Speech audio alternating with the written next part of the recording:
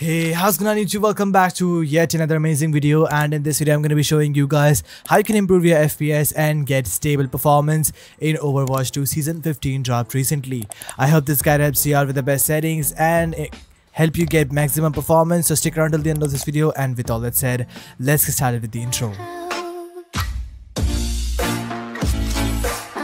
Alright, step number one is the best Windows settings and for that simply search for settings on your PC and then head down to gaming. Head over to game bar and simply turn this thing off. Game bar turned off will help you to get extra performance because it disables any kind of overlays running on the top of your games. After that go back to gaming, head over to game mode and turn this thing on. It will optimize your PC by turning things and applications off in the background helping you to maximize your performance. Right after that head down to graphics and then click on change default graphics settings right over here. Then click on hardware accelerated GPU scheduling and make sure that this is turned on on. Same thing with the optimizations for windowed games. Both of them will help you to reduce your input and render latency and improve the performance in the game. After that, head back to graphics and then click on the browse button over here and then go to the download location of your game. Once you find it, simply open it up and then add overwatch.exe in this list. If that is already added, scroll down to find it, select it, head over to its options and then select high performance to ensure that your graphic card is being utilized. Click on save and then close your settings. Next step is the compatibility settings and for that simply right click on your game, head over to manage and click on browse local files files. Once you are here, right click on overwatch.exe, head over to its properties, then compatibility, and then click on disable full screen optimization to make sure that this is checked. After that, click on change high DPI settings and then select override high DPI scaling behavior. Click on OK and then click on OK right over here. This will help you to fix your input latency. But before we move ahead, I want to introduce you guys to this video sponsor, EaseUS VoiceWave.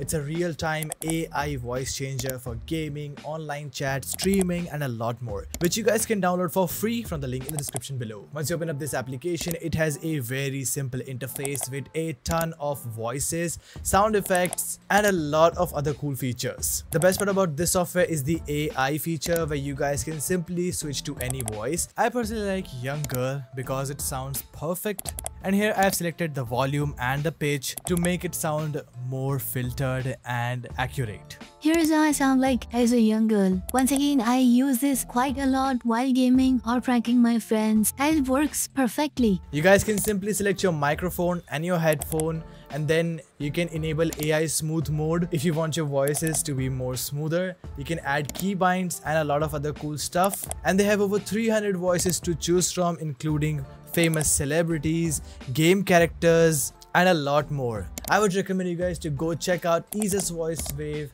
for free from the link in the description below. Next step is creating a restore point and for that simply search for create a restore point on your PC. Over here look for local disk C and then click on create. Name it Overwatch 2 just so you can remember it. I highly recommend you guys not to skip this step if you want to restore all of your settings back to normal without any kind of data loss. Once that is done simply click on close and close system properties. Next step is the Overwatch 2 season 15 FPS pack. I'll be leaving a link to this down in the description below. You guys can download it from there. You'll find in 6 simple folders and these are very helpful and I would recommend you guys not to skip any one of them. Let's start with the first one that is CPU priority in which I have left AMD and Intel CPU priority. Once again if you have an AMD CPU like me you can double click on the AMD CPU priority and it will help you to set up the correct DWORD values to optimize the performance of your CPU. After that head back to the main folder, go to the second folder which is Overwatch 2 priority in which I have left above normal and high priority. I would recommend you guys to leave your PC specs down in the comments below and I'll be telling you guys which priority you need to choose right over here. Once that is done go back. Third folder is RAM optimization in which I have left a ton of registries according to your PC. Once again, I have 32GB RAM so I need to apply this registry. It could be different for you so you can select it among this list. Once again, if that doesn't work out well, you can always reset to default these registries back again. Fourth one is the power plan settings in which I have left import ultimate performance power plan. Even wanna have to right click and run it as administrator. This will add ultimate performance power plan into your list and to access it head over to power plans and this will take you to control panel. Select hide additional plans over here and then select ultimate performance plan once that is added on your PC. This will help you to disable all kind of power saving features on your USB, graphic card, CPU and help you to improve the performance of your hardware. Fifth one is input lag fix in which I have left keyboard latency fix for which I would recommend you guys to leave your keyboard specs down in the comments below and I'll be telling you guys which one you need to choose right over here. Next is mouse latency registries in which I have left disable pointer precision which will help you to disable mouse acceleration on your PC. This is really helpful while gaming and makes your aim more accurate. But if you're on a laptop and you use a trackpad, I would not recommend you guys to use it.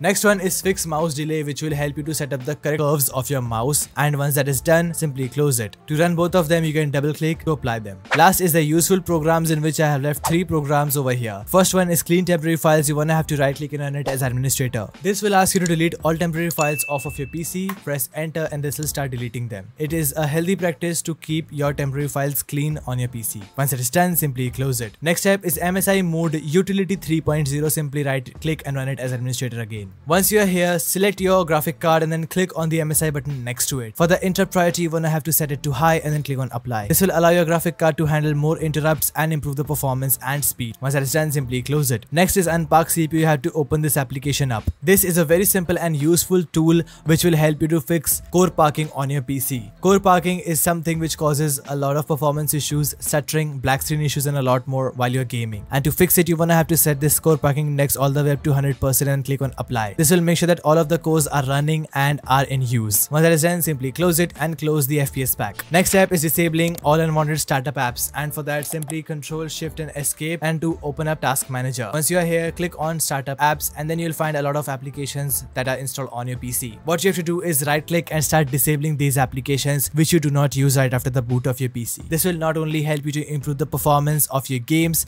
but it will also help you to reduce your booting time. Doing this, you will allow your PC to disable the number of processes running in the background right after the start of your PC. Next step is disabling background applications and for that you have to press your Windows key and then type in edit group policy. Simply open it up. This step will only be available for Windows Pro users. Once you're here, double click on computer configuration, then administrative templates, Windows components, app privacy and in here you'll find in let windows apps run in the background. Simply double click to open it up and then make sure that this policy is set to enabled. Then for the policy property default for all applications should be set to force deny and then click on apply. Click on ok to close it. This will disallow any kind of applications running in the background while you're playing your games. Once that is done simply close it. Next step is de-animating windows. And for that simply search for adjust the appearance and performance of windows once you're over here you have to select custom and then you have to ensure that you only turned on save taskbar thumbnail previews, show thumbnails instead of icons, show window contents while dragging and smooth edges of screen fonts.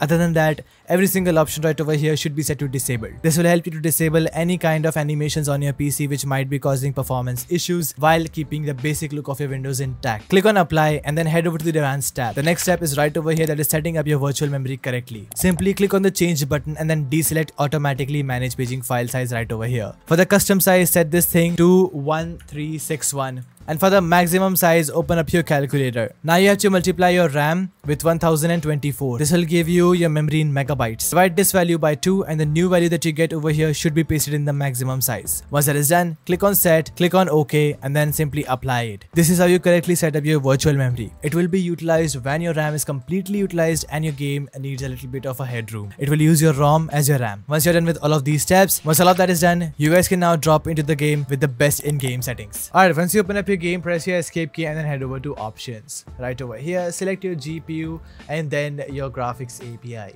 It could be DirectX 12 because that gives me the best FPS possible. Display mode I have gone with the windowed borderless and aspect ratio normal. NVIDIA Reflex go with enabled plus boost. VSync and triple buffering should be turned off. Reduced buffering should be turned on. Then render scale, you wanna have to go to automatic. Then press Y to apply it. Then head over to graphics quality and then here you have to set it at highest quality upscaling. Go with FSR 2.2 if that is available for your PC. Image sharpening, I have gone with 0.45. Texture quality, medium. Texture filtering quality, also medium. You guys can go with high and ultra it doesn't really impact your FPS a lot. So I have gone with medium. I can go with high as well. Local fog detail low. Model detail I have gone with medium. Shadow detail low. Effects detail low. Lighting quality low. Refraction quality low. Screenshot quality if you guys take screenshot that's up to you. Ambient occlusion should be set to off. Dynamic reflections should be set to off. Local reflections